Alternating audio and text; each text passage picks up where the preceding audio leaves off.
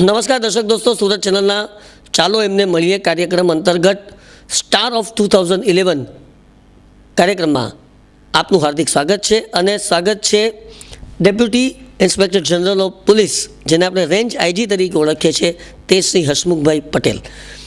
હસમુખભાઈનો પરિચય સુરતની જનતાને આપવાનો ન હોય, એટલા માટે કે કેટલાક છેલ્લા વર્ષોને જો આપણે યાદ કરીએ, તો અશ્વિની કુમાર વિસ્તારની અંદર કદાચ સુરતની સૌથી મોટી ગાંજાની રેડ પડી હતી અને તે ગાંજાની રેડ હસમુખભાઈએ પાડી હતી.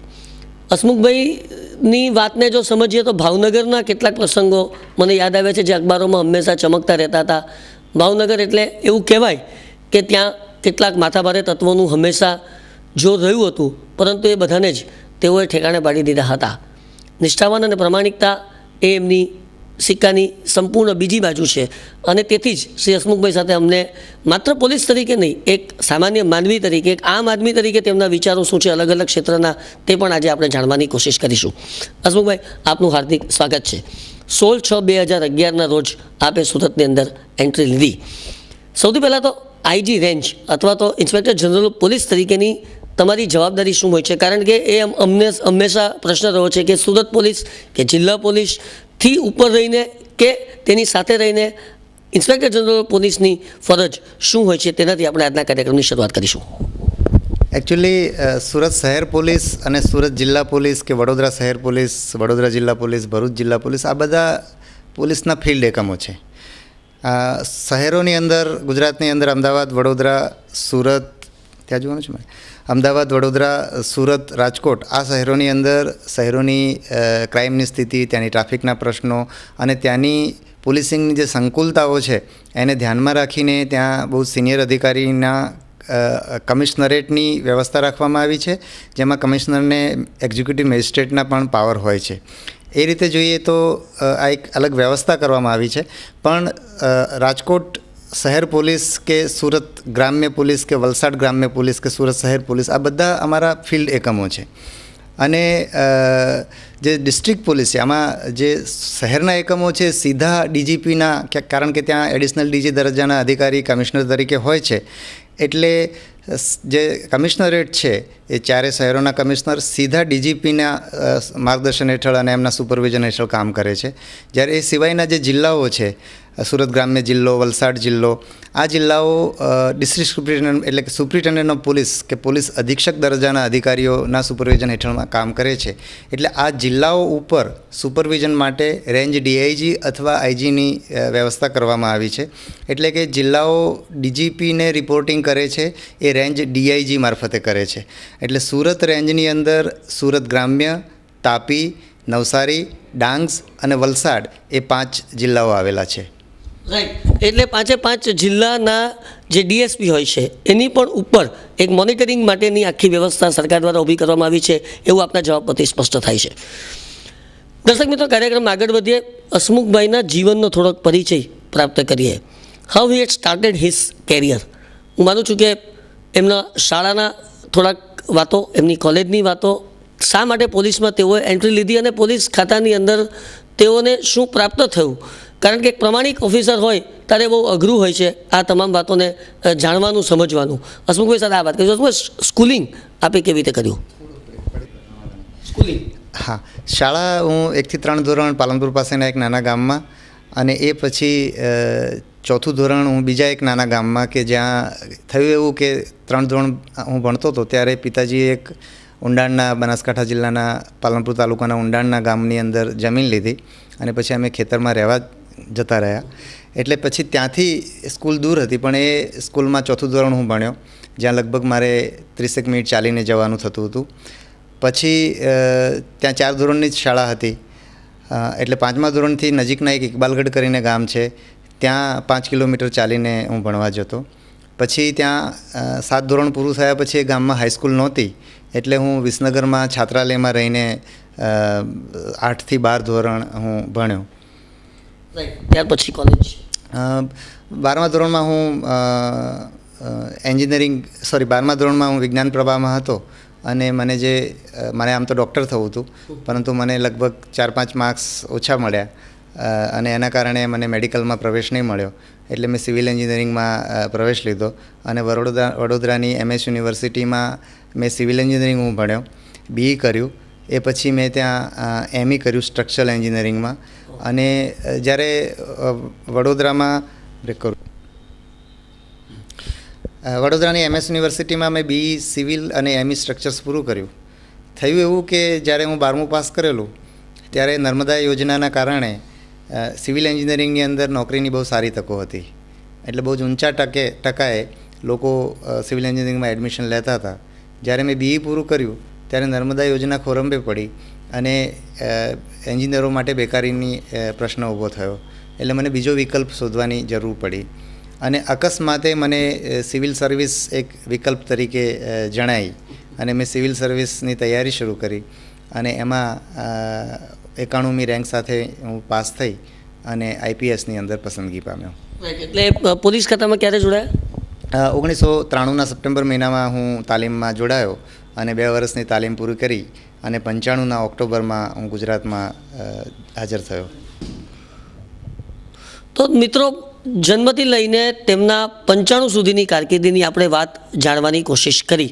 એના પરથી એક વાત ફલિત થાય છે કે તેઓએ ઘાટઘાટના પાણી શરૂઆતથી જ પીધા હતા. એટલે પંચાણું પછી બે હજાર અગિયાર એટલે કે આ સોળ વર્ષના ગાળામાં પણ તેમણે ઘાટઘાટના પાણી પીધા હોય, એમાં કંઈ નવાઈની વાત નથી. તો આ ઘાટઘાટના પાણી તમે ક્યાં ક્યાં પીધા? પંચાણુંથી બે હજાર અગિયાર. પંચાણુંમાં હું તાલીમ પૂરી કરી અને જામનગર જિલ્લામાં પ્રોબેશનરી એએસપી તરીકે જોડાયો. ત્યાં ત્રણેક મહિના સુધી પંચકોશી એ ડિવિઝન પોલીસ સ્ટેશનનો ઇન્ડિપેન્ડન્ટ ચાર્જ રાખ્યો.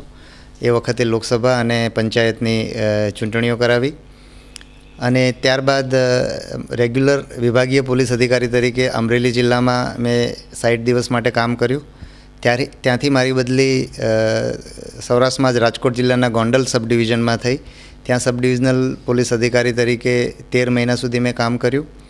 ત્યાંથી મારી બદલી અમદાવાદ ઇન્ટેલિજન્સ બ્રાન્ચમાં થઈ, જ્યાં મેં પંદર દિવસ સુધી બે બે દિવસ સુધી જ કામ કર્યું. અને ત્યાંથી મારી બદલી વિભાગીય પોલીસ અધિકારી નડિયાદ તરીકે થઈ, ત્યાં અઢી મહિના સુધી હું રહ્યો. અને એ પછી વિભાગીય પોલીસ અધિકારી પોરબંદર તરીકે મેં બે બે મહિના માટે ફરજ બજાવી. અને ત્યાંથી મને સુપ્રિન્ટેન્ડન્ટ ઓફ પોલીસ એટલે કે પોલીસ અધિક્ષક તરીકે પ્રમોશન મળ્યું. અને હું પોલીસ અધિક્ષક પોરબંદર તરીકે જોડાયો. ત્યારબાદ ત્યારબાદ હા પોલીસ અધિક્ષક પોરબંદર તરીકે લગભગ સવા બે મહિના સુધી મેં કામ કર્યું અને ત્યાંથી મારી બદલી પોલીસ અધિક્ષક નર્મદા તરીકે થઈ, જ્યાં નર્મદા જિલ્લો નવો બનેલો હોય, તે જિલ્લાના પ્રથમ પોલીસ અધિક્ષક તરીકે મેં દોઢ વર્ષ સુધી કામ કર્યું. ત્યાંથી હું વલસાડ જિલ્લા પોલીસ અધિક્ષક તરીકે ગયો અને ત્યાં બે વર્ષ સાત મહિના સુધી મેં કામ કર્યું. ત્યાંથી યુએનના યુનાઇટેડ નેશન્સના યુગોસ્લાવિયામાં કોસોવો પ્રાંતના પીસ કીપિંગ મિશનની અંદર હું જોડાયો અને એક વર્ષ સુધી ત્યાં મેં કામ કર્યું. ત્યાંથી પરત આવીને હું સુરત વિભાગમાં નશાબંધીના નાયબ પોલીસ કમિશનર તરીકે એક વર્ષ સુધી કામ કર્યું જેમાં વડોદરા થી અ, વલસાડ સુધીના જિલ્લાઓ અને શહેરોનો મારા જ્યુરિડિક્શનમાં સમાવેશ થતો હતો. નશાબંધીમાંથી હું પોલીસ અધિક્ષક રેલવે તરીકે ગયો. ત્યાં સાત મહિનાનું કામ, સાત મહિના કામ કર્યા પછી મારી પોલીસ અધિક્ષક ભાવનગર તરીકે બદલી થઈ. ત્યાં હું સવા બે વર્ષ સુધી મેં ફરજ બજાવી. ત્યાંથી બદલી થઈ મારી પોલીસ અધિક્ષક વિજિલન્સ તરીકે ડીજીપી કચેરીની અંદર અને ત્યાં મારો સેવાકાળ નવ મહિના જેટલો રહ્યો. ત્યાં મને પ્રમોશન મળ્યું અને સાડા ત્રણ વર્ષ સુધી ડીઆઈજી પ્લાનિંગ અને મોડર્નાઇઝેશન એટલે કે પોલીસ આધુનિકરણનું મેં કામ કર્યું, જેમાં પોલીસની લોજિસ્ટિક રિક્વાયરમેન્ટ્સ પૂરી પાડવાનું કામ મારું હતું અને ત્યાંથી બદલી થઈ અને છેલ્લા છ મહિનાથી હું સુરતના રેન્જ ડીઆઈજી તરીકે ફરજ બજાવું છું. હસમુખભાઈએ ખૂબ લાંબી સુદીર્ઘ કારકિર્દી અને અનેક અનેક જિલ્લાઓની અંદર, અનેક અનેક શહેરોની અંદર પોતાની જવાબદારી નિભાવી છે એટલે ખૂબ બધા ફ્રેન્ડ સાથે તેમણે કામ કર્યું એ બહુ સ્વાભાવિક ઘટનાક્રમ હોઈ શકે. હસમુખભાઈ, વચ્ચે આપણે જે વાત કરી યુગાન્ડાનું પીસ મિશનની આ વાત થોડી કરો, એ પીસ મિશન શું હતું? એકચ્યુઅલી એમાંથી આપણે પણ ઘણું બધું શીખવા જેવું છે. યુગોસ્લાવિયા એક મજબૂત રાષ્ટ્ર હતું અને માર્શલ ટીટોના સમયમાં એટલે નહેરુ અને ટીટોની આપણે મૈત્રી વિશે આપ જાણતા જ હશો. એમના સમયમાં યુગોસ્લાવિયા એક સમૃદ્ધ રાષ્ટ્ર તરીકે ઉભરી આવ્યું અને મને યાદ છે કે હું ત્યાં પીસ કીપિંગ મિશનમાં ગયો, ત્યારે પણ લોકો યાદ કરતા હતા કે યુગોસ્લાવિયન દેનાર જે છે, એનું જે ચલણ, એ જર્મન માર્ક કરતાં પણ વધારે મજબૂત હતું. પરંતુ ટીટો પછી જે મેલોસેવિચ કરીને જે શાસક આવ્યા, એમણે, કારણ કે યુગોસ્લાવિયાનો એક મોટા સૌથી મોટો પ્રાંત હતો જે સર્બિયા અને બાકી કુલ છ પ્રાંત હતા અને બે ઇન ઓટોનોમસ પ્રોવિન્સ હતા. એમાં સર્બિયનનું ડોમિનેશન કરવાનો એમણે પ્રયાસ કર્યો અને પરિણામે યુગોસ્લાવિયાના ટુકડે ટુકડા થઈ ગયા. ખૂબ જ માનવ સંહાર થયો અને છેવટે યુએને એમાં દાખલ થવું પડ્યું. અને એક પ્રાંત એટલે કે જે કોસોવો કરીને જે ઓટોનોમસ પ્રોવિન્સ હતું, ત્યાં યુએન પીસકીપિંગ મિશન શરૂ થયું. અને દુનિયાના લગભગ પંચાવન દેશ, દેશોમાંથી પોલીસ અધિકારીઓ ત્યાં મિશનની અંદર આવીને સેવા બજાવતા હતા. એ રીતે અમે પણ અહીંથી ભારતના લગભગ ત્રણસો જેટલા અધિકારીઓ ત્યાં ફરજ બજાવતા હતા. અને ત્યાં નોર્મલ જે પોલીસિંગનું કામ છે એ જ ત્યાં કરવાનું હતું. અને ધીરે ધીરે એ મિશન જેમ જેમ આગળ જતું ગયું, જેમ જેમ શાંતિ સ્થપાતી ગઈ, એમ પોલીસ અધિકારીઓનું કામ ત્યાં નવી પોલીસની ભરતી કરવાની. કારણ કે ત્યાં જે જૂનું એડમિનિસ્ટ્રેશન હતું, એમાંથી લોકોએ સંપૂર્ણપણે રાજીનામું આપ, આપી દેવાથી એડમિનિસ્ટ્રેટિવ વેક્યુમ ક્રિએટ થયેલી. એટલે પહેલાં યુએને જઈને ત્યાં વહીવટ સંભાળ્યો અને પછી ધીરે ધીરે વહીવટ સ્થાનિક લોકોના હાથમાં આપવાનું કામ કર્યું. એટલે નવી પોલીસની ભરતી કરવાની, એને તાલીમ આપવાની અને ધીરે ધીરે એ લોકો કામ શીખીને કામ સંભાળે અને નિષ્પક્ષ રીતે કામ કરે એમ પછી ધીરે ધીરે મોનિટરિંગની જવાબદારી યુએન મિશને સંભાળી. અને મને ખ્યાલ છે ત્યાં સુધી આઈ થિંક છેલ્લા સમયમાં જ એ યુએન મિશન ત્યાંથી હટ્યું છે.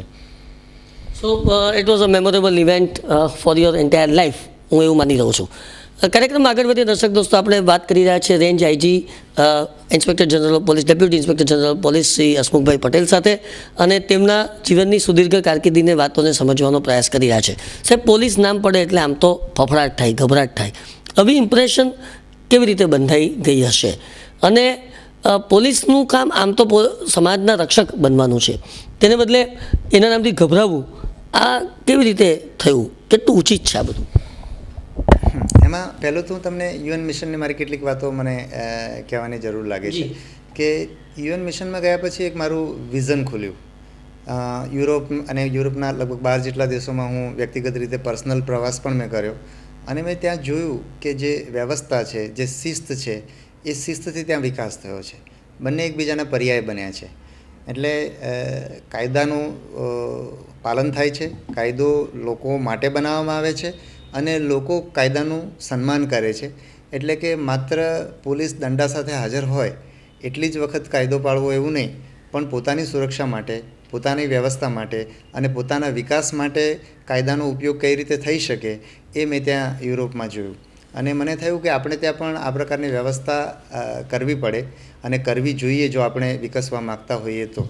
આપણે અત્યારે આપણું જે જીવન છે, એ જીવનની ગુણવત્તા બદલવી હોય તો આપણે ઘણું બદલાવાની જરૂર છે.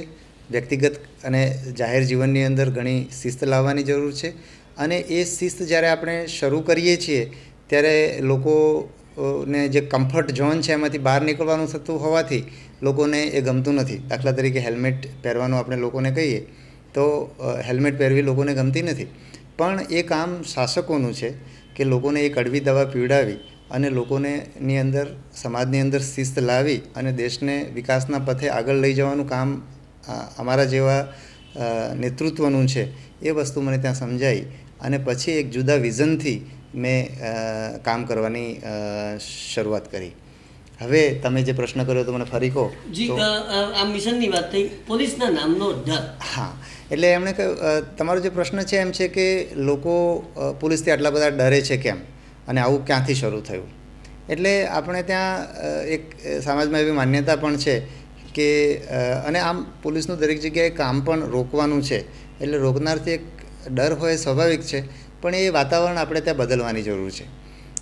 અને પોલીસના ડર કરતાં કાયદાનો ડર હોય એ બહુ જરૂરી છે.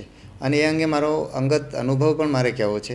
અને હું બહુ સ્પષ્ટપણે માનું પણ છું, ડેક્કન હરી હેરલ્ડમાં મેં આર્ટિકલ પણ લખ્યો છે કે આપણે જે પોલીસના, આપણે એવું માનીએ છીએ, સમાજમાં પણ આપણે એવું માનીએ છીએ કે સમાજમાં જે શાંતિ છે એ પોલીસના ડરના કારણે છે. હું એ વાત સાથે સંમત નથી.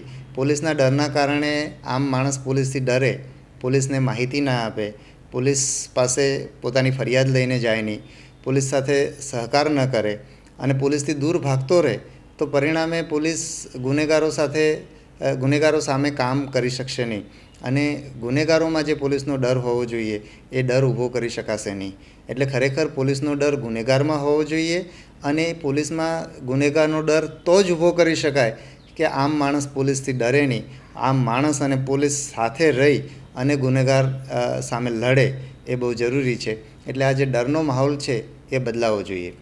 અને મને મારો અંગત અનુભવ મારે કહેવો છે કે હું ભાવનગર એસપી તરીકે જોડાયો ત્યારે ત્યાં સ્થિતિ સારી નહોતી. અને એ વખતે જ્યારે પહેલા દિવસે હું જોડાયો, ત્યારે મને પત્રકારોએ પૂછેલું કે તમારી પ્રાથમિકતા શું છે? ત્યારે મેં બે વસ્તુ કહેલી, કે ભાવનગરમાં હું કાયદાનું સન્માન ઊભું કરવા માગું છું અને લોકોમાંથી પોલીસનો ડર દૂર કરવા માગું છું. સામાન્ય રીતે આવી સ્થિતિમાં લોકોની અપેક્ષા, મારા પાસે એવા જવાબની અપેક્ષા હોય કે દંડાના માધ્યમથી હું આ પરિસ્થિતિને કંટ્રોલ કરીશ. એની જગ્યાએ મેં જુદી જ વાત કરી અને મારે કહેવું છે કે દંડા વિના અમે ભાવનગરમાં કાયદાનું સન્માન પણ ઊભું કરી શક્યા, ઘણી બધી શિસ્ત પણ ઊભું કરી શક્યા, લોકો પોતાની રીતે કાયદો પાળતો, પાળતા થયા લાઉડ સ્પીકર કે હેલ્મેટ જેવા કાયદાઓ જે સામાન્ય રીતે લોકો પાળતા નથી, એવા કાયદાઓની સમજ લોકોમાં વિકસી અને ઘણું બધું કામ દંડા વિના થઈ શક્યું. અને પોલીસ અને પ્રજા ખૂબ નજીક આવી એટલે આપણે જે ભયની વાત કરીએ છીએ, એ દૂર કરવાનો પ્રયાસ થયો, સફળતાપૂર્વક થયો અને એના સારા પરિણામો જોવા મળ્યા. રાઈટ હસમુખભાઈ કાયદાનું સન્માન થવું જ જોઈએ, એ વાત બહુ સાચી છે, પરંતુ પ્રિવેન્શનની વાત જ્યારે બી આવતી હોય છે, કારણ કે પોલીસનું પહેલું કામ ગુનો બનતો રોકવાની છે. ગુનો બની ગયા પછી આરોપીને શોધવું એ તો ત્યાર પછીનું કામ છે. અને ત્યાં મોટેભાગે નિષ્ફળતા મળતી હોય છે. અને એને કારણે સમાજ જીવનની અંદર પોલીસ વિશેના અનેક પ્રશ્નો પણ ઊભા થતા હોય છે. ગુજરાતમાં દારૂબંધી છે. દારૂ ન જ મળવો જોઈએ અને મળતો હોય તો એ પોલીસને ખબર જ હોવી જોઈએ. છતાં પોલીસની રહેમ નજર હેઠળ દારૂના અડ્ડા કે જુગારના અડ્ડા ચાલતા હોય તેવું લોકવાયકા ચર્ચાતી હોય છે. કેવી રીતે પોલીસને ઘન નથી આવતી તે પણ એક બહુ મોટી વાત છે. તો પ્રિવેન્શનના કામમાં કેટલી સક્રિયતા હોવી જોઈએ અને કેટલી સફળતા પ્રિવેન્શનથી મળતી હોય છે? આપણે ગયા પ્રશ્નથી જ આગળ વધીએ તો કાયદાની સન્માનની જે વાત છે તો ભાવનગરના અનુભવની જ વાત આગળ વધારી અને પછી આપણે મુખ્ય પ્રશ્ન પર આવીએ. તો ભાવનગરમાં જ્યારે મેં કાયદાના સન્માનની વાત કરી, ત્યારે અમે શરૂઆત ટ્રાફિકના કાયદાના ચુસ્ત અમલથી કરેલી. અને લોકોએ એનો શરૂઆતમાં લગભગ દોઢેક મહિના સુધી ખૂબ જ વિરોધ કર્યો. અને ત્યારે હું એમને સમજાવતો કે જો તમે ટ્રાફિકનો કાયદો નહીં પાળો અને જો તમે કાયદાને સન્માન નહીં આપો, તો કાયદો તમને સુરક્ષા નહીં આપે. અને કાયદાના માધ્યમ, ટ્રાફિકના કાયદાના માધ્યમથી હું તમને મેસેજ આપવા માગું છું કે ટ્રાફિકનું નાનામાં નાનું વાયોલેશન જો અમે ના ચલાવી લેતા હોઈએ, તો કોઈ ગુનેગારની, ગુંડાની ગુંડાગીર્દી અમે ચલાવીશું નહીં. અને એ મેસેજ બરાબર રીતે ગયો. અને અમને ગુંડાઓ સામે કામ કરવાની તક તો લગભગ પાંચ મહિના પછી પહેલી વાર મળી. પણ ત્યાં સુધી ગુંડાઓને મેસેજ પહોંચેલો. અને અમે જ્યારે ગુંડા ટોળકીને પકડી, એક સંતોષ સોંડા કરીને જે ગેંગ હતી, એ ગેંગને અમે પકડી, તો એ પૂર્વે એની વિરુદ્ધમાં અઠ્યાવીસ ગુનાઓ નોંધાયેલા હતા. અને એમાંથી ચાર ખૂનના ગુના હતા અને એક પણ ગુનાની અંદર સજા થઈ નહોતી. આ જ્યારે એને પકડ્યા ત્યારે અમે કોઈને એને આંગળી નથી અડાડી, માત્ર કાયદાના માધ્યમથી એની વિરુદ્ધમાં લગભગ બાર કે પંદર જેટલા કેસો નોંધવામાં આવ્યા. એમાંની એક એફઆઈઆર તો દોઢ વર્ષ પછી નોંધવામાં આવી અને સામાન્ય રીતે એફઆઈઆરમાં છ આઠ કલાકની ડિલે પણ નુકસાનકારક ગણાતી હોય છે. જ્યારે આ દોઢ વર્ષ પછી નોંધાયેલી એફઆઈઆરમાં આ ગેંગની સામે પહેલી વાર પાંચ વર્ષની સજા થઈ, એટલે કાયદાથી પ્રિવેન્શન થઈ શકે છે. અને આજે પણ ભાવનગરમાં હું માનું છું ત્યાં સુધી શાંતિ છે, કારણ કે કાયદાનો એક ડર ઊભો થયો છે. હવે આપણે પ્રિવેન્શનની વાત કરીએ તો પ્રિવેન્શનના ઘણા બધા આસ્પેક્ટ છે. પ્રિવેન્શન માટે એક તો સૌથી પહેલાં ડિટેક્શન કે ગુનેગારોની વિરુદ્ધમાં સખતમાં સખત પગ, પગલાં લેવામાં આવે અને કાયદાનો એક ડિટરન્સ કાયદાનો એક ડર લોકોમાં ઊભો થાય. અને એના માધ્યમથી કાયદો આપોઆપ પળાય અને વારંવાર ગુનાઓ બને નહીં અને ગુનાઓ નોંધ, કારણ કે ગુનાઓ નોંધી અને આરોપીઓ પકડવાની કામ છે, એ તો ગુના પછીનું કામ છે.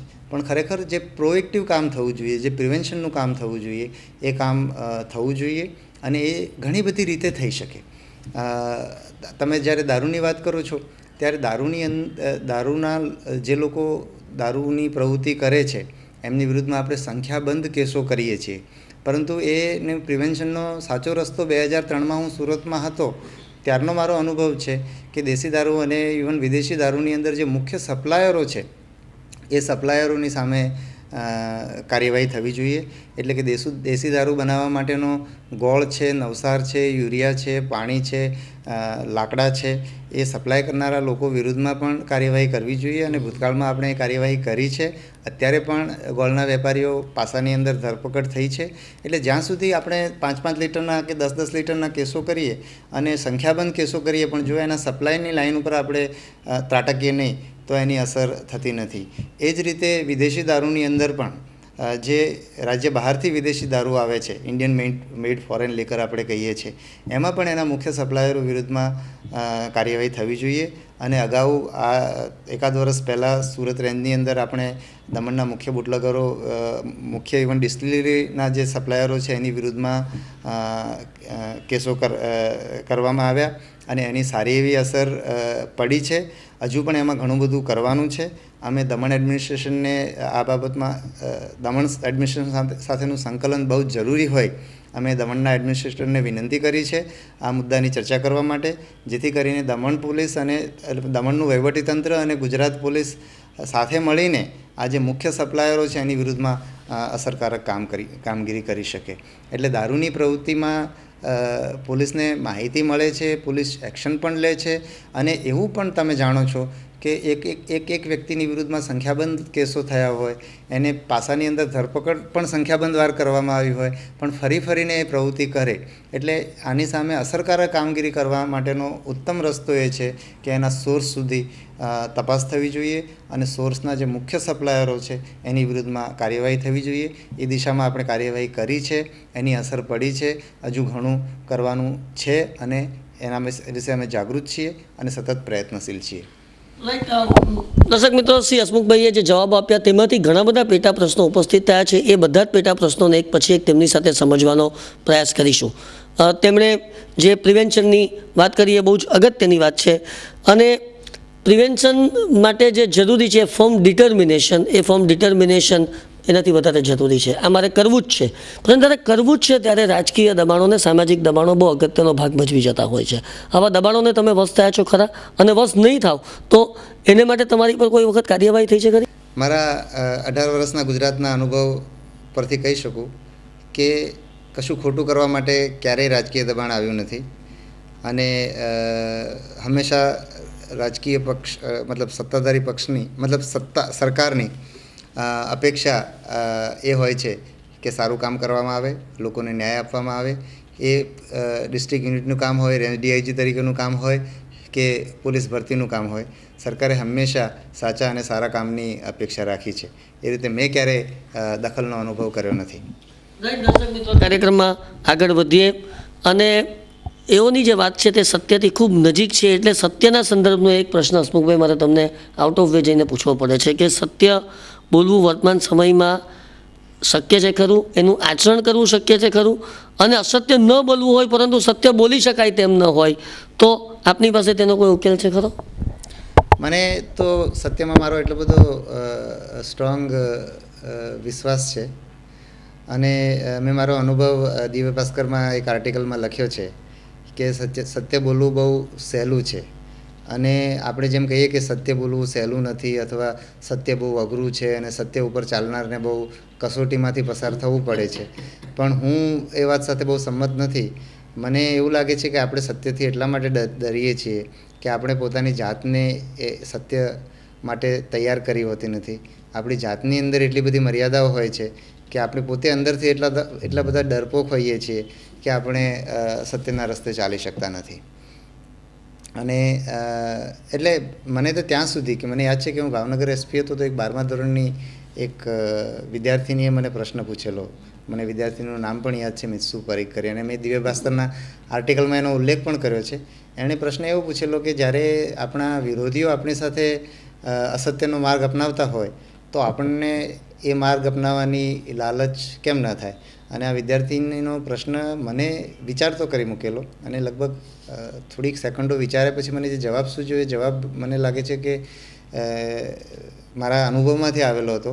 અને જવાબ એ છે કે આપણે સત્યના રસ્તે ચાલતા હોઈએ અને આપણા વિરોધીઓ અસત્યના રસ્તે ચાલતા હોય, તો આપણને અસત્યના રસ્તે ચાલવાની લાલચ એટલા માટે ના થાય કે આપણે સત્યના શસ્ત્રોમાં પાવરદા હોઈએ અને આપણે અસત્યના શસ્ત્રો આપણે અપનાવી શકીએ નહીં, કારણ કે આપણને એ વાપરતા પણ ના આવડે.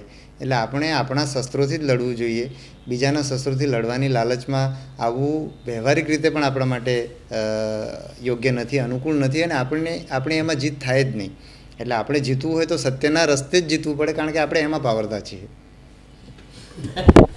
દર્શક મિત્રો, કાર્યક્રમમાં આગળ વધીએ અને શ્રી હસમુખભાઈ પટેલ સાથે કેટલીક વધુ વાતોને સમજવાની કોશિશ કરીએ. એમના જે અગાઉના જવાબ હતા તેમાં તેમણે બહુ સરસ વાત કરી હતી કે ભાવનગરની અંદર કોઈપણ જાતનો બળ પ્રયોગ કર્યા વગરની તમે વાત કરી હતી, કાયદાનું શાસનની સ્થાપનાની વાત કરી હતી. અને કોઈપણ જાતની મારઠોક કર્યા વગર કે રિમાન્ડ પર લીધા વગર પણ જે ગેંગને પકડીની વાત કરી હતી, એના પરથી એક પ્રશ્ન ઊભો થાય છે અને તે એ છે કે અહિંસા એ પરમો ધર્મ આપણામાં કહ્યું છે. પણ પોલીસ અને અહિંસા એ કેવી રીતે શક્ય બને? તમારી દ્રષ્ટિએ અહિંસાની પરિભાષા એટલે શું? કોઈ એક ગાલ પર તમાચો મારે, તો શું આપણે બીજો ગાલ ધરી દેવું જોઈએ? એવું નથી લાગતું કે આ વિચાર વર્તમાન સમયમાં અપ્રસ્તુત થઈ ગયો છે? અહિંસા છે ને બિઈંગનો સવાલ છે. આપણા મનની અંદર શું છે? આપણે બહારથી બહુ ઉત્તમ અહિંસાની વાતો કરતા હોઈએ, પણ આપણે અંદર અહિંસા ભરેલી હોઈ શકે. એટલે આપણા બિઈંગની અંદર શું છે? આપણા અસ્તિત્વની અંદર શું છે? એ બહુ મહત્ત્વનું છે. અને મને અહિંસામાં પૂરેપૂરી શ્રદ્ધા છે. અને તમે જુઓ તો ગાંધીજીનો જે અનુભવ છે, કે ગાંધીજીએ બચપણમાં સત્યવાદી રાજા હરિશ્ચંદ્રની નાટક જોયું અને એમને સત્યમાં વિશ્વાસ થયો. એ પછી એમણે કડાની ચોરી કરી, કડામાંથી સોનાની ચોરી કરી અને હરિશ્ચંદ્રના નાટકની એટલી જબરજસ્ત અસર હતી કે એમણે ચોરી, સામાન્ય રીતે ચોરી કરીને પછી સત્ય બોલવું કે ભાઈ મેં ચોરી કરી છે, એ આમ સામાન્ય રીતે વ્યવહારું નથી લાગતું. પણ એમની માટે સત્યની એવી જબરજસ્ત એમના ઉપર અસર હતી કે એમણે કડાચોરીની ઘટના પિતાજી સમક્ષ કબૂલી અને એ વખતે એમના પિતાજીએ એમને એક શબ્દ સુદ્ધા કહ્યો નહીં. એમની આસમાન આંખમાંથી માત્ર આંસુના બે બિંદુઓ પડ્યા અને એમણે ગાંધીજીને ભીંજવ્યા અને ગાંધીજી પોતાની આત્મકથામાં લખે છે કે મારા માટે આ હિંસાનો પદાર્થ પાઠ હતો અને આ ઘટના મારા મનની અંદર એવી અંક, અંકાઈ ગઈ છે કે આજે પણ હું ચિતારો હોઉં તો એ આખું ચિત્ર એમનું એમ દોરી શકું. એટલે બચપણની અંદર જો આપણા અસ્તિત્વની અંદર અહિંસાના બીજ રોપાઈ જાય, તો એ અહિંસા આપણા માટે એક જબરજસ્ત શસ્ત્ર બને છે અને ગાંધીજીએ અહિંસા અને સત્ય બચપણમાં એમના અંદર વવાઈ ગયેલું અને પરિણામે એમણે કડાચોરીની ઘટના જ નહીં, જ્યારે એમને ટ્રેનમાંથી ફેંકી દેવામાં આવ્યા ત્યારે પણ દક્ષિણ દક્ષિણ આફ્રિકાનો સત્યાગ્રહ હોય કે ભારતનો સ્વાતંત્ર્ય સંગ્રામ હોય, એમણે અહિંસાનો જ ઉપયોગ કર્યો અને ઓગણીસો બાવીસમાં જ્યારે અસહકાર આંદોલન પરાકાષ્ઠા પર હતું, ઘણાને એવું લાગતું હતું કે દેશ આઝાદ થઈ જશે. એ વખતે આંદોલનમાં ચૌરી ચોરાની એક ઘટના બને છે જેમાં આંદોલનકારીઓ પોલીસ સ્ટેશનને સળગાવી દે છે અને એ ઘટના પરથી, એ ઘટના વખતે પરાકાષ્ઠા પર ટોચે પહોંચેલું આંદોલન ગાંધીજી પાછું ખેંચી લે છે. એમના સાથીઓ નારાજ થાય છે, આખો દેશ હતાશ થાય છે, પણ એ માત્ર ને માત્ર અહિંસાના શસ્ત્ર સાથે જ આઝાદી મેળવવાનું નક્કી કરે છે અને પછીના લગભગ અઢી દાયકા પછી આપણને આઝાદી મળે છે, એ પણ એમને મંજૂર છે, કારણ કે અહિંસાના બીજ ગાંધીજીને ની મનની અંદર રોપાઈ ગયા હતા. એટલે અહિંસાની આપણે સુફિયાણી વાતો કરે નહીં ચાલે. અહિંસા આપણા અસ્તિત્વમાં આવવી પડશે અને હિંસાથી ક્યારેય કશું થયું નથી. એટલે આપણને, આપણે સાથે આપણે એ રીતે ખુશ થવું જોઈએ કે દિવસે દિવસે આપણે અહિંસાના શસ્ત્રનું મૂલ્ય સમજતા જઈએ છીએ. શસ્ત્રો વધ્યા છે, પણ યુદ્ધો ઘટતા જાય છે, એ આનંદની વાત છે. અને માણસના મનની અંદર અહિંસા વવાવી જોઈશે એના બિઈંગમાં આવી જોઈશે અને એ કામ બચપણની, બચપણથી થવું જોઈશે. એટલે મેં મારા પોલીસના કામની સાથોસાથ એક આ બાળ બાળ હિંસા નિવારણથી વિશ્વ શાંતિનું અભિયાન ઉપાડ્યું છે. અને એમાં મારો કહેવાનો અર્થ એ છે કે બચપણમાં હિંસા વાવીશું તો સમાજને હિંસાનું વટવૃક્ષ પાછું મળશે.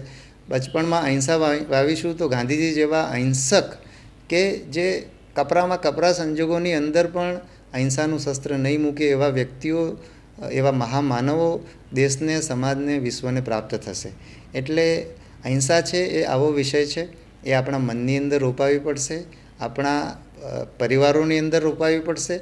તો જ આપણા બાળપણમાં વવાવી પડશે અને તો જ એ આપણા સમાજમાં આવશે અને તો જ સમાજ અહિંસક બનશે અને અહિંસક સમાજ જ પ્રગતિ કરી શકે. એ કોઈપણ પ્રકારનું શોષણ છે એ હિંસા જ છે. ભલે આપણે મોઢા પર કંઈ બીજી વાત કરતા હોઈએ. ખૂબ સુંદર વાત આપે કરી અને હું માનું છું કે આ સંદર્ભના આચરણની વાત પણ સમાજની અંદર વધુ સારી રીતે ફેલાય તો જે આપ કહો છો તેવા સારા પરિણામો પ્રાપ્ત થઈ શકે. કોઈક મહેનત કરીને આપ ગુનેગારને પકડો છો. અને પછી તે ઝડપથી છૂટી જાય છે કોઈ પણ કારણસર. ત્યારે તમને કેવી ફિલિંગ થતી હોય છે? પહેલો પ્રશ્ન નો પહેલાં જવાબ આપો અને પછી આપણે ફરી આ પ્રશ્ન લઈશું. એટલે તમે એ રીતે એડિટ કરજો. કે તમે જે બીજી વાત કરી કે પોલીસ અને હિંસા અથવા પોલીસ અને અહિંસા બે વાત તો કેવી રીતે ચાલી શકે? પહેલી વસ્તુ એ કે પોલીસનું કામ સમાજમાં હિંસા ઓછું કરવાનું છે. પોલીસનું કામ સમાજની અંદર જે હિંસા છે, ઘટાડવાનું છે અને સમાજની અંદર જે હિંસા થાય છે, એની સાથે કામ પાડવાનું છે, એને ડીલ કરવાનું કામ છે. અને એ હિંસા કરનારાઓની વિરુદ્ધમાં અસરકારક કાનૂની પગલાં લઈ અને એક કાયદાનો એવો ડર ઊભો કરવાનો છે, જેના કારણે બીજા લોકો હિંસા કરતા અટકે. પણ આ કામ તો ડૉક્ટરનું થયું. પણ ખરું કામ તો બાળપણની અંદર અહિંસા રોપવાનું છે. હિંસક વિચારો દૂર કરવાના છે. બાળક જ્યારે હિંસાનો અનુભવ બચપણમાં કરે, ત્યારે એ શીખે છે હિંસા અને ભવિષ્યમાં એ હિંસાનો ઉપયોગ કરે છે. એટલે આ કામ પણ સાથે સાથે થવું જોઈએ. ફરી પાછી પોલીસના હિંસાની વાત કરીએ તો મેં તમને ભાવનગરનો અનુભવ કહ્યો કે સૌથી કપરા સમયની અંદર અહિંસક રીતે રીઢામાં રીઢા ગુનેગારો, ગુંડાઓની સામે અમે કામ કરી શક, શક્યા હતા. એવો જ એક બીજો એક એવો અનુભવ કેવો છે કે દસ વર્ષ પહેલાં હું વલસાડ જિલ્લામાં પોલીસ અધિક્ષક હતો. ધરમપુર પોલીસ સ્ટેશનનું ઇન્સ્પેક્શન કરતો હતો અને અમારે પોલીસમાં જે રીઢા પ્રોપર્ટી ઓફેન્ડર કે જે ચોરીના લૂંટના ગુનાઓ કરતા હોય, એવા ગુનેગારોના હિસ્ટ્રી શીટ ખોલવામાં આવે. અને ઇન્સ્પેક્શન વખતે પોલીસ અધિક્ષક એ હિસ્ટ્રી શીટને ચેક કરે. હિસ્ટ્રી સીટરને ચેક કરે, એ વ્યક્તિને બોલાવવામાં આવે, એ શું પ્રવૃત્તિ કરે છે, પોલીસ એને બરાબર ચેક કરે છે કે નહીં એ બધું ચેક કરવામાં આવે. તો એક પચીસ સત્યાવીસ વર્ષના એક યુવાનને મારી સામે હિસ્ટ્રી સીટર તરીકે ઊભો રાખવામાં આવ્યો. મેં એની હિસ્ટ્રી શીટ ખોલ્યું. એની વિરુદ્ધમાં આવા ગુનાઓ નોંધાયેલા હતા. મેં એને પૂછ્યું કે તું શું કરે છે? તેણે કહ્યું, ખેતી. એટલે મેં કહ્યું, કોઈની જમીનમાં કે પોતાની જમીનમાં તો એણે કહ્યું, મારી પોતાની જમીનમાં મેં. કહ્યું, કેટલી જમીન છે? તો મને કે, બાર એકર જમીન છે. એટલે મેં કહ્યું કે, બાર એકર જમીનનો માલિક ચોરી કરવા જાય અને એનું હિસ્ટ્રી શીટ બને અને મારે એનું હિસ્ટ્રી શીટ ચેક કરવું પડે, એ મને શરમજનક લાગે છે. તારું હિસ્ટ્રી શીટ ચેક કરતાં મને દુઃખ થાય છે. મારા આટલા શબ્દો પૂરા થાય. એની સાથે ધ્રુસકે ધ્રુસકે રડવા માંડ્યો. અને એ દિવસે મેં એનું હિસ્ટ્રી શીટ બંધ કર્યું.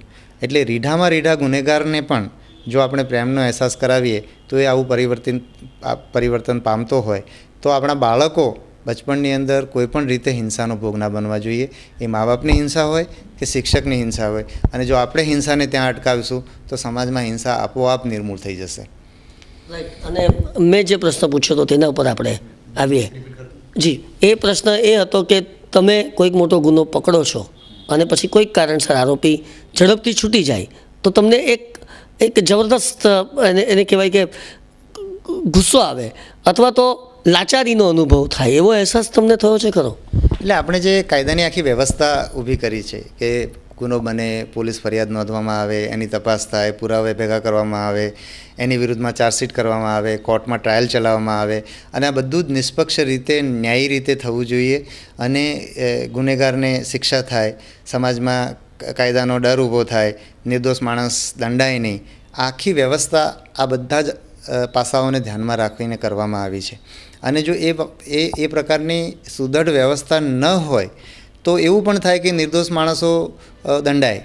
અને કાયદાની જે વ્યવસ્થા છે કે સો ગુનેગારો છૂટી જાય તો ચાલે, પણ નિર્દોષ માણસ દંડાવવો જોઈએ નહીં. એટલે આખી વ્યવસ્થા સમાજમાં શાંતિ અને વ્યવસ્થા જળવાય એ માટે ઊભી કરવામાં આવી છે. અને એ વ્યવસ્થા ક્યારેક ઘણા બધા કારણોસર નિષ્ફળ જાય. ક્યારેક એની ફરિયાદ સમયસર ન નોંધાય. ક્યારેક પોલીસની તપાસમાં કચાશ રહી જાય. ક્યારેક કોર્ટમાં કેસ રજૂ કરવામાં ઉણપ રહી જાય. ક્યારેક સાક્ષીઓ ફરી જાય. સાક્ષીઓને મતલબ ગુને, ફરિયાદી અને આરોપી વચ્ચે સમાધાન થાય. આ બધી મર્યાદાઓ પૈકી એક અથવા એકથી વધારે કારણોસર કેસમાં ગુનેગારને સજા ન થાય. ત્યારે આપણને નિરાશા ચોક્કસ થાય. પણ સાથે સાથે આપણને એ પણ યાદ રહે કે આ જે વ્યવસ્થા છે, એના કારણે આપણે ત્યાં કાયદોની વ્યવસ્થા જળવાઈ રહી છે અને આપણા દેશમાં, દુનિયાના ઘણા બધા દેશોમાં જેવી વ્યવસ્થા છે અને જે શાંતિ છે, એટલી જ સારી વ્યવસ્થા આપણે ત્યાં છે. એવો મારો હું વિદેશના ફર્યા પછી પણ વિદેશના દેશોમાં ફર્યા પછી હું કહું છું કે આપણી વ્યવસ્થા ઘણી સારી છે. એમાં વધારે સારો અમલ થાય. કાયદાની વધારે સમજ વધે.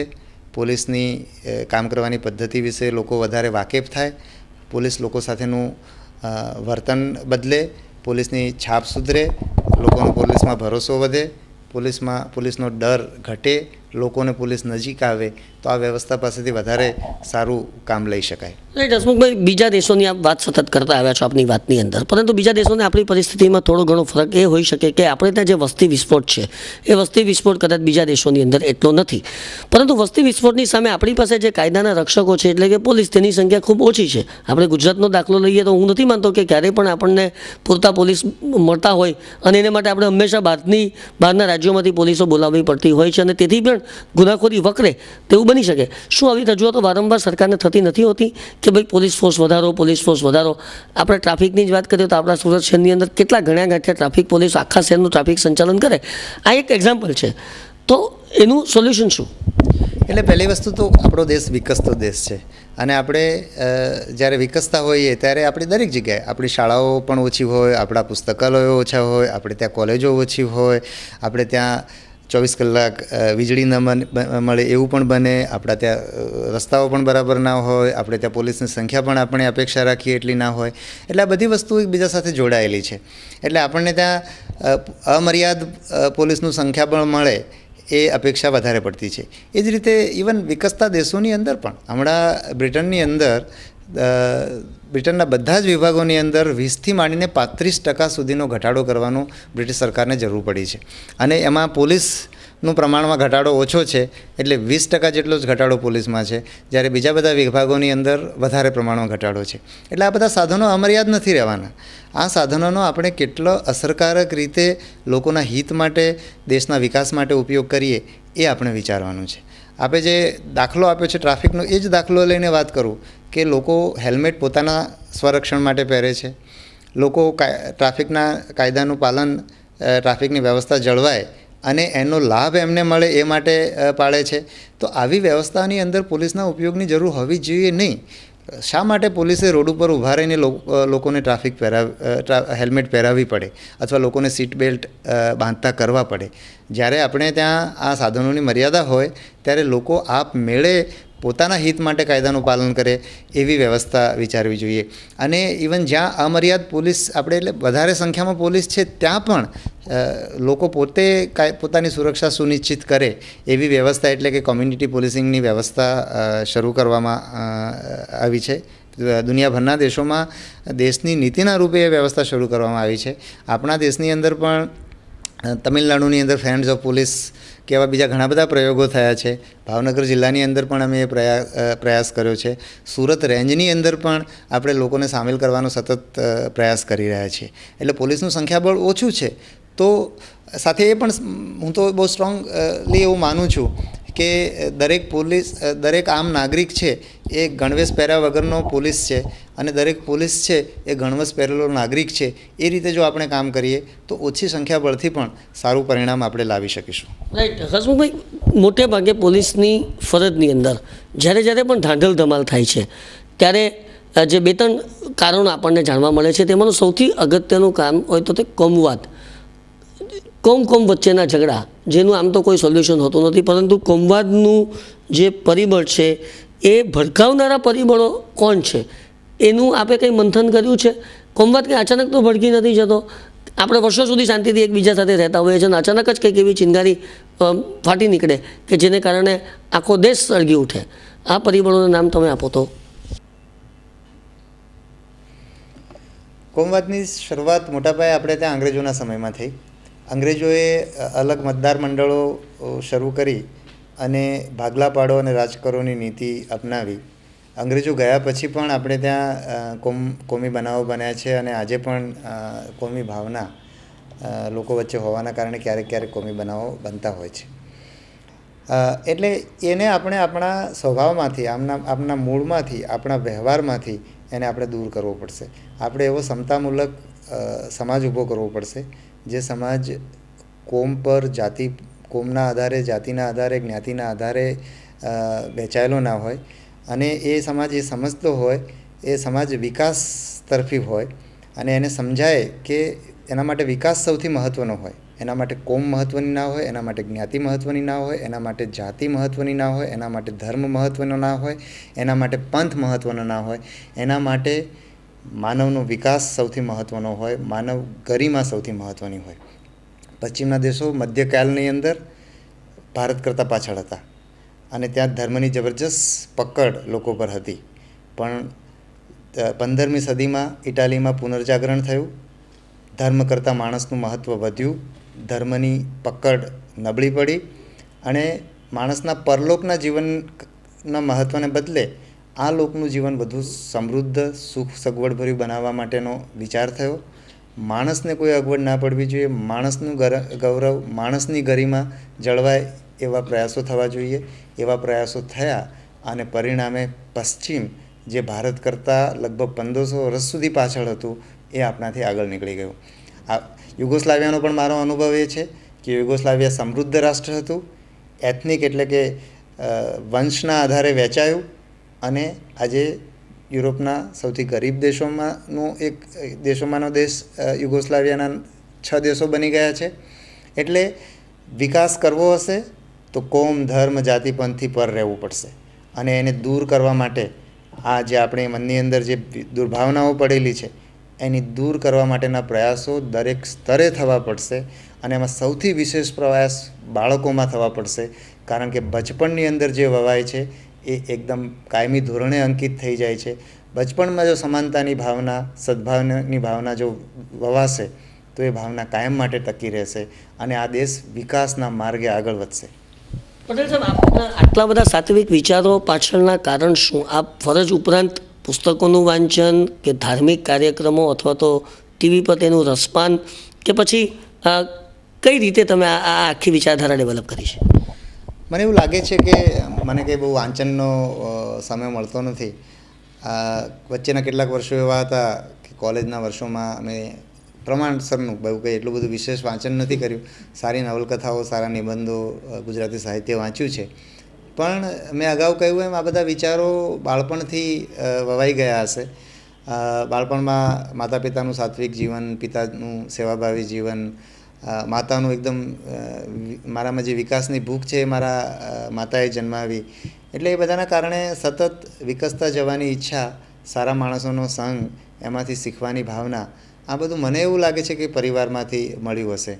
અને અગાઉ મેં કહ્યું કે ગાંધીજીના જીવનમાં બચપણમાં સત્યવાદી રાજા હરિશ્ચંદ્રનું એક નાટક જોવાથી જો સત્ય આટલું સ્ટ્રોંગલી વવાતું હોય, તો એ જ વાત દરેક બાળકના કિસ્સામાં બનતી હોય છે. આપણે આજે જે કંઈ છીએ એમાંનું ઘણું બધું બાળપણમાં વવાઈ જતું હોય છે. એટલે મારામાં તમને કોઈ સદ્ગુણ દેખાતો હોય તો એ બાળપણમાં વવાયેલો સદ્ગુણ હશે એવું હું માનું છું. હસમુખભાઈ છેલ્લા કેટલાક બે પ્રશ્નોથી આપણે આજની વાતને અલ્પવિરામ આપવાનું પસંદ કરીશું.